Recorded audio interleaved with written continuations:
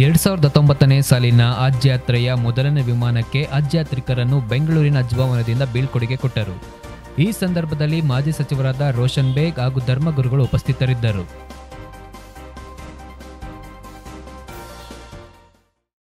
وسلم اللهم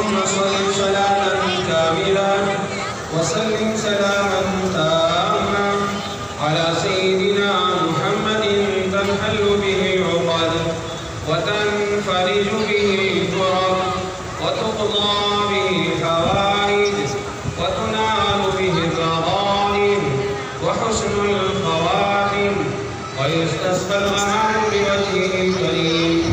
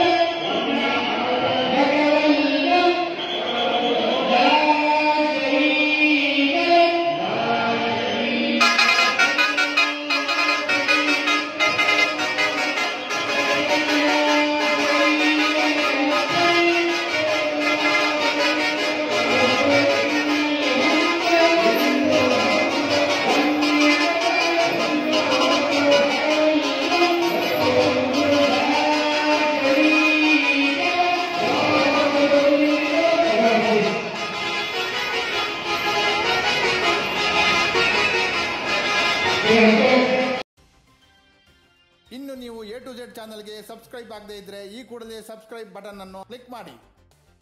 ಹಾಗೂ ದಿನನಿತ್ಯ ಅಪ್ಡೇಟ್ಗಳಿಗಾಗಿ ಬೆಲ್ ಐಕಾನ್ ಅನ್ನು ಪ್ರೆಸ್ ಮಾಡಿ.